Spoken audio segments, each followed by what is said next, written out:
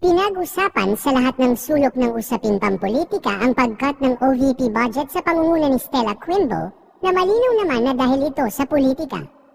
Kaya naman, ang dahilan ng pagkat ng OVP budget bukod sa politika ay ang hindi raw magandang pag-manage ng OVP sa perang pondo na nakukuha nila at mayroon din daw mga duplicate project. Dahil sa inis ng taong bayan sa House of Representatives biglang na lifestyle check si Madam Chair Stella Quimbo mula kasi sa tricycad ka artista van, kasama pa ang mga mamahaling alahas at koleksyon ng mga high-end na bags ay lumabas lahat sa publiko.